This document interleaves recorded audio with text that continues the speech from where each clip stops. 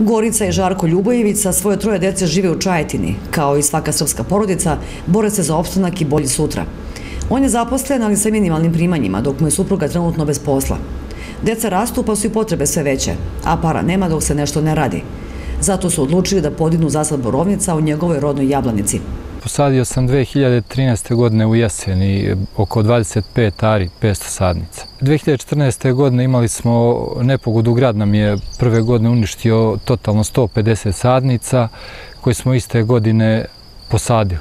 Iste godine, nakon nepogoda u jesen, Ljubojevići su zasadili novih 150 sadnica, a stare su presadili.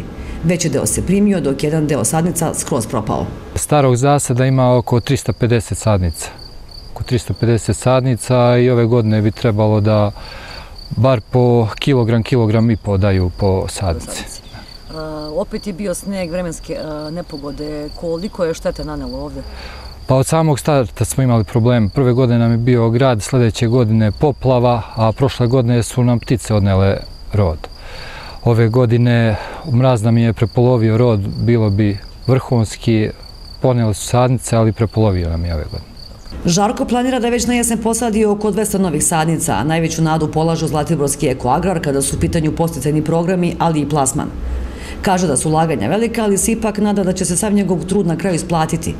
Ove godine će rod predati, a za naredni period plan je da uz pomoć ekoagrara krene sa preradom borovnice.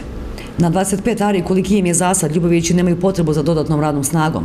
Ceo posao biće obavljen od strane članova porodice. Pa ja se nadam da neće trebati uz pomoć dece i tu baba, deda. Neće trebati, nadam se, ne znam, sve zavisi kad bude veći rod možda ih hoće. Ljubojevići poručuju budućim voćarima da je pored puno rade para najbitnije ljubav prema poljoprivredi i voćarstvu i nadaju se da će i ostali koji imaju svoje imanja poći njihovim stopama.